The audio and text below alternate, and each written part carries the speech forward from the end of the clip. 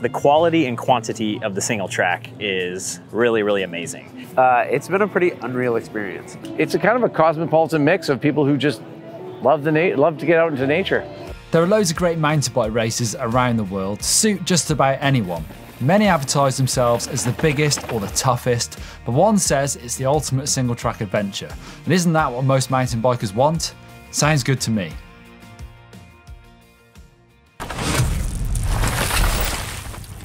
I had a taste of the BC Bike Race for a day back in July and it did not disappoint. British Columbia is home to some very well known mountain bike trails, from the North Shore or up the road to Squamish, Whistler, and Pemberton. But the BC Bike Race takes you into what really feels like wilderness and trails that not many mountain bikers get to experience. The BC Bike Race is like the first mountain bike thing I ever heard of. Like, you know, you hear about little trails and places, but I swear this race was like the first, like, oh, there's a race where it's like seven days and it's super hard. And I probably heard about it 10 years ago. I mean, people always ask me where my favorite place to ride in the world, and I always say BC. And uh, this reasons, this uh, race really showcases all the single track I love. BC Bike Race is a seven day mountain bike adventure that embodies the spirit of British Columbia mountain bike culture. It's my first time BC bike race. It's been a bucket list race for sure. And is it as good as you hoped? Uh, no, it's actually a lot better than I hoped. BC bike race. Uh, it's a legend, that's what it is, and it's a dream.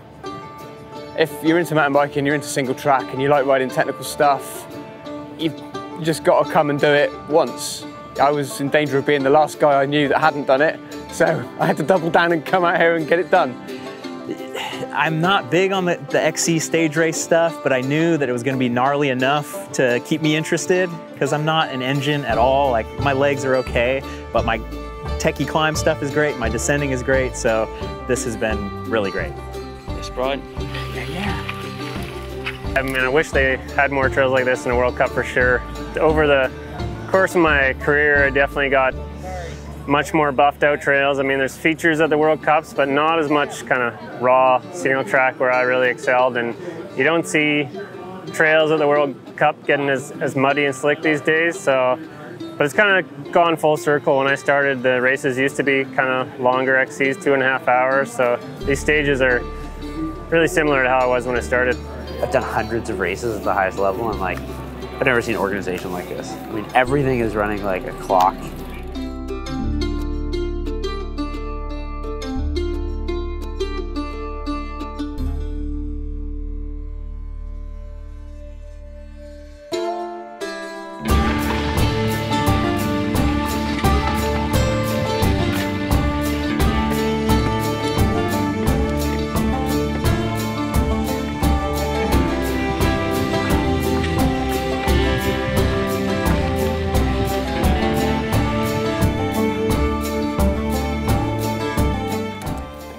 seven days of stage racing. So normally you do an XC race and it's one day and you're done.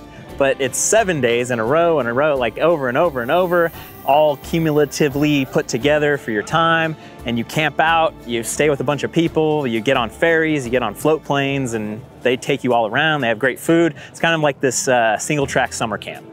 Trail's world class, you can't get away from it. They put so much work in, and the work's obvious, and yet the trails still feel completely like they've just happened. They, they don't look like they've been manufactured or forced. So it's natural trail, but with that kind of trail centre extensiveness.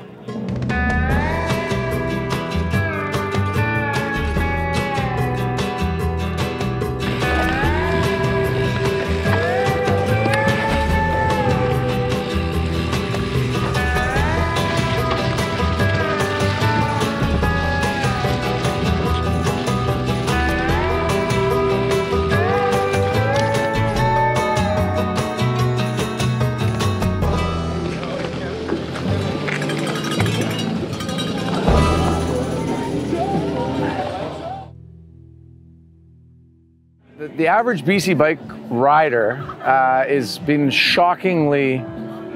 It's absolutely because we knew the pros would come. We knew that the, the single track ninjas would come because they, they hanker for it. But the fill in at the bottom, where people heard about a good adventure, a good experience, for some people, this is their first mountain bike race ever. For some people, they've only been on their mountain bikes for a couple of years. They heard this was a great place to learn to mountain bike. So it's a surprisingly big variety, density up here of people who understand the industry, who are hardcore mountain bikers. The trickle down is insane. But seeing the growth of mountain biking globally and families and uh, kids getting into it, it's uh, it's a kind of a cosmopolitan mix of people who just love the love to get out into nature. Oh, wow, super lucky. Got to fly from yesterday's stage uh, end to this stage start in a float plane, which uh, just a total, didn't know it was going to happen. Yeah, wow, just super. What a great day to spend your time. Amazing. It's definitely a really physical race. The numbers are pretty sizable. Seven day race, of course. Today was the biggest day, almost 60 kilometers, 1600 meters of climbing. But one thing you'll really notice is the bikes aren't cross country bikes. They're down country, whatever you want to call them. The pros are riding 120 forks, 100 mil in the rear, probably bigger tires, wider bars, shorter stems. 600 bikes here, you'll see all sorts of different bikes. I can see like an old clunker over there.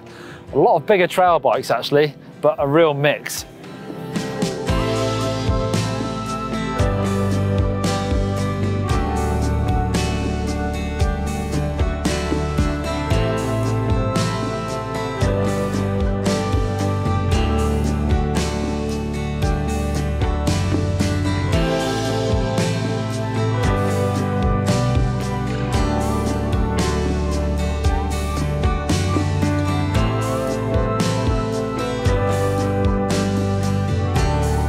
So that's the BC Bike Race. The tagline is the ultimate single track adventure.